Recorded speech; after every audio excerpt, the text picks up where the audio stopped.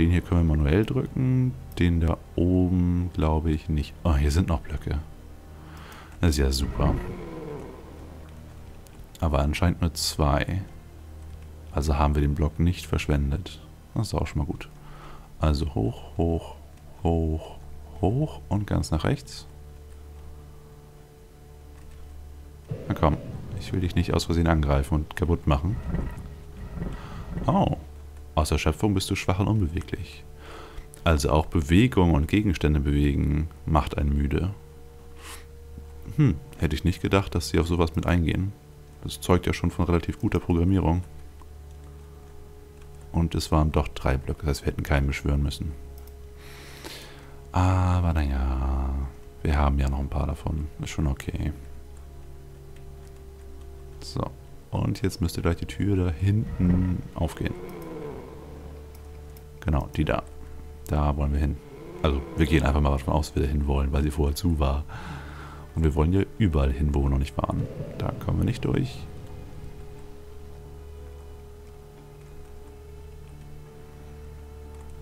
Hier sind überall die... Äh. Okay. Hier ist nichts, nur fliegende Fäuste. Das ist kein guter Deal. Und die Säulen versperren den Weg, genau wie die hier auch. Also, komische Ecke hier. Ähm, ich... Was zur Hölle macht der da? Ich bewege mich gerade gar nicht. Das macht alles der Computer. Und so viele Bewegungen habe ich nicht eingegeben. Also gehen wir jetzt ganz Schritt für Schritt vorwärts und schauen mal, was passiert. Nee. Sobald wir da zu der Tür gehen, dreht er um und läuft den ganzen Weg. Alles komisch. Okay, probieren wir mal hier lang zu gehen. So, und jetzt gehen wir von hier ein nach Norden. Das geht. Drehen wir uns. Hm, ich habe mich nicht nach links gedreht und trotzdem ist er schon losgelaufen. Vielleicht muss man einfach nur schnell genug dahin.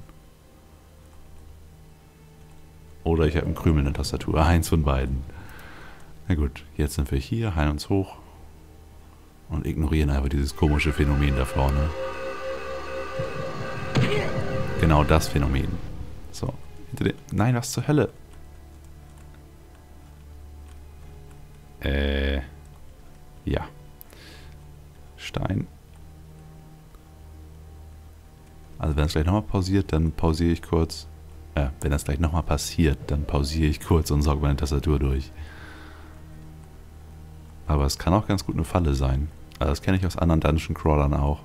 Dass man auf bestimmten Gebieten gedreht wird. Und immer schön auf den Kompass achten muss, wo, man, wo man gerade hinguckt.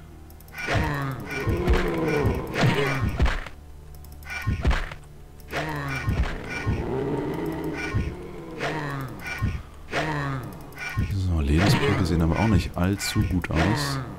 Aber mit etwas Glück sind wir gleich hier oben fertig und können runter zu dem äh, Heilungsaltar. Na komm, still. Tu uns den Gefallen. Du willst es doch auch. Wir sind wieder schwach. Äh, Heiltrank, äh Quatsch, Mana-Trank. Mana-Trank und Heilung.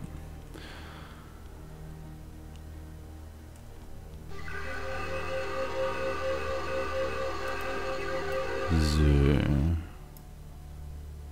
Da geht's auch noch weiter. Da ist ein kleiner Raum und sonst haben wir hier oben nichts mehr.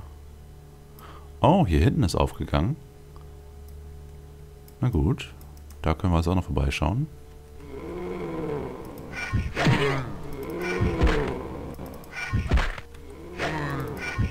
Irgendwo müsste hier auch die Kapitänskajüte sein. Mal gucken, ob es dann wirklich einen Kapitän gibt oder ob sie das rausgelassen haben. Hier wird der Schlüssel sein. Da kommt schon mal einer.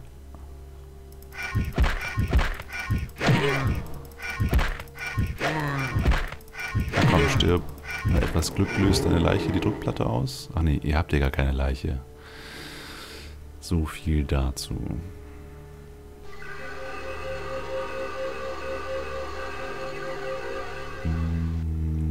Der Raum ist leer. Ah, ne, gut. Nee, ein Teleporter. Ich will keinen Teleporter. Ein Kartentisch versperrt den Weg. Da kann man aber nichts klicken. Schade. Oh, Kiste, Kiste. Logbuch des Captains. Ah, sind wir also im Kapitänsquartier. Ein schwerer Sturm ist aufgekommen. Dies ist ein schlechtes Zeichen. Ja, wenn man Schiffsfahrer ist, schon.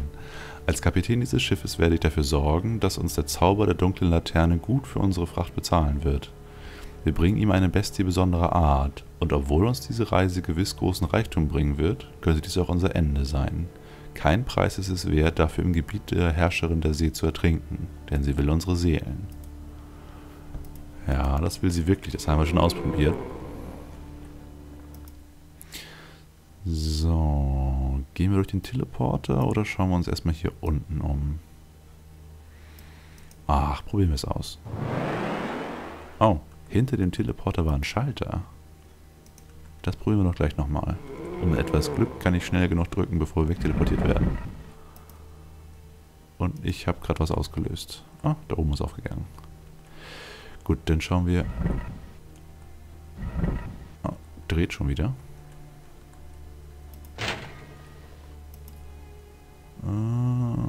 Der Teleporter weg. Dafür geht's da jetzt weiter? Also ich wüsste... Jetzt ist das da auf. Das ist echt eine komische Gegend hier. Überall gehen irgendwelche Wände auf, gehen Wände zu. Ja, zu. Hm. Also ich wüsste nicht, was ich hier um die Karte machen würde. Auf der Karte können wir immer schön gucken, wo was... Oh, oh, oh, oh, oh können wir immer schön gucken, wo was aufgeht und wo was zugeht. Ohne müssten wir jedes Mal zurücklaufen. Das wäre echt übel.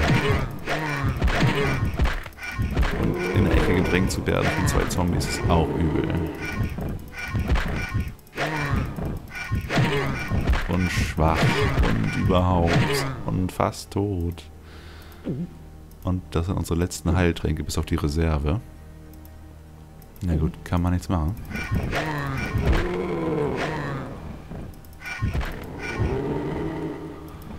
So, Heiltrank bitte.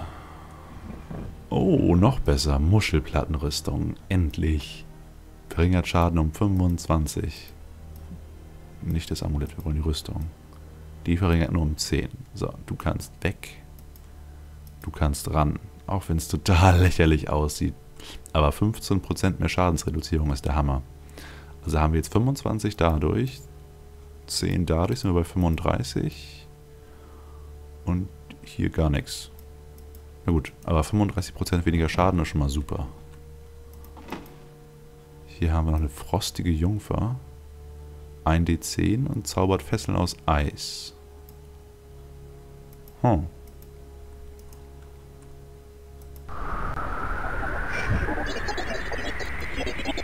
Okay, also kann man damit nicht normal zuschlagen, sondern verbraucht immer auch gleich eine Ladung. Das ist natürlich nicht so toll. Aber wenn wir mal auf einen Gegner treffen, die er mit Speeren bekämpfen muss, also irgendeine Art von Drache, dann können wir das Ding benutzen.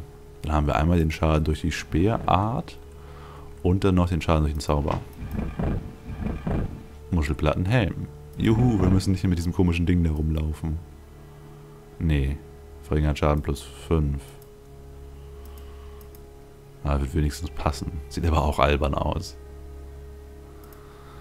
Ne, wir behalten die Baskenmütze hier auf.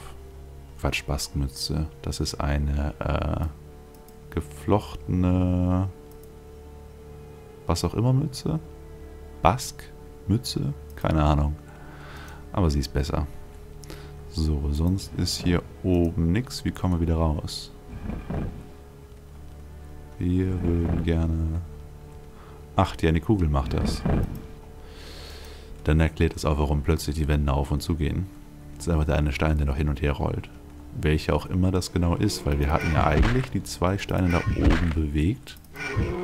Und danach sie stehen geblieben. Da sind sie stehen geblieben. Aber naja. Oh, das war kein Bug. Da ist wirklich ein zweiter. Und dahinter ist noch einer. Na gut, sind alles Erfahrungspunkte, die wir bekommen.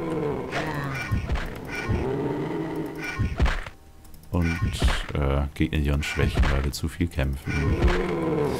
Naja, solange kein wütender Kapitän gleich kommt, der uns töten will, ist alles gut.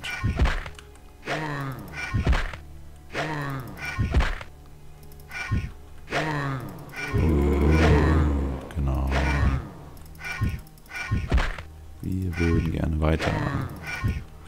Bin nämlich ganz schön neugierig jetzt, was die Krake noch alles zu sagen hat und ob sie uns danach wirklich angreift oder nicht. So, das alles für nix. Hier flackert nämlich keine Wand. Aber da ist irgendwas. Hm, ist hier ein Schalter? Ne, hier war nur die Schlüsselloch. Ich sehe hier auch nichts flackern. Hm, na gut, hier ist da einfach nichts. Das heißt, wir gehen jetzt aus dem Weg von dem Stein. Ah, er hat gewartet. Ich habe es genau gesehen. Er hat gewartet. Ah, so. Also, wir gehen aus dem Weg von dem Stein und gucken uns denn da unten um. Also da war schon mal ein rollender Stein, den ich vergessen hatte. Aber ob der das jetzt war, der die Türen da oben öffnet oder nicht. Hm. So, hier haben wir nur eine Sackgasse. Das heißt, wir haben noch da die Ecke und das Fitzelchen hier. Heißt, wir müssen uns einfach nur äh, nächste Tür links und dann gucke ich wieder auf die Karte.